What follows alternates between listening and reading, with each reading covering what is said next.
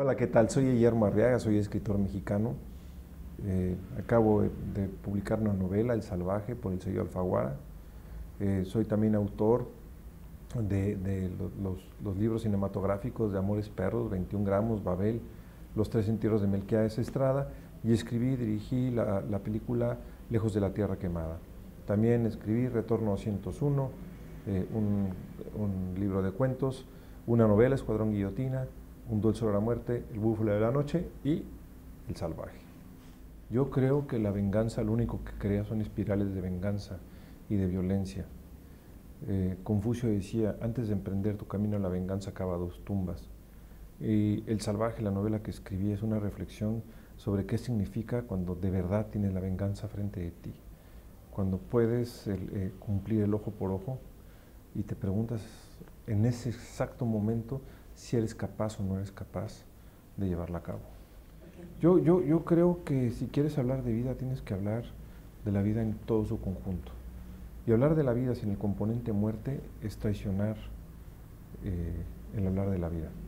Nosotros, si no tenemos un sentido de finitud, la vida se convierte en algo gelatinoso y blando. Si tienes un sentido de finitud, entonces la vida empieza a cobrar más intensidad y más potencia. Entonces yo creo que, no debemos dejar de lado eh, los temas oscuros de la vida si es que realmente amamos la vida. Mira, yo, yo, yo, creo que la esperanza viene de la capacidad que tienes que de relacionarte con otros seres. Creo que el amor, la amistad, la generosidad, la solidaridad ayudan a que alguien no se sienta solo en el mundo. Y cuando hablo de generosidad y, solidaridad, incluyo también a los animales, porque a veces los animales son tu guía construir una, posibilidad de esperanza. A veces tu mascota o un animal salvaje los que te llevan hacia un lugar que tú no esperabas, en donde se, se, haya la luz y, la posibilidad de salir adelante. Yo, yo, yo, yo creo que somos predadores.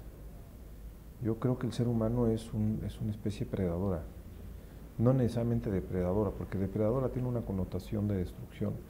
Predador tiene una connotación de perseguir algo. Y creo que si algo tiene la especie humana es que es capaz de ir hasta los extremos. Basta ver un celular. Y si piensas que un celular se construyó de las rocas y, la tierra, dices, ¿cómo? ¿De dónde pasaron estas rocas y esta tierra a, esto? ¿Cómo le hizo la especie humana para construir esto? Yo creo, yo creo que Juan Guillermo y Amaruk son dos personajes solitarios, dos personajes en el abandono, dos personajes que bordean la locura. Y cada uno en, su propia misión van encontrando el sentido de lo que están haciendo. Eh, a, Maruk lo encuentra a través de un lobo y Juan Guillermo lo encuentra a través de su perro King y a través de, de, un perro lobo llamado Colmillo. Y por supuesto Juan Guillermo lo encuentra después a través de la amistad de sus amigos del barrio, de un hombre que aparece ahí muy generoso, Sergio Avilés, de otro que se llama Simón Bros, de gente que le va ayudando a salir del profundo hoyo en el que se encuentra.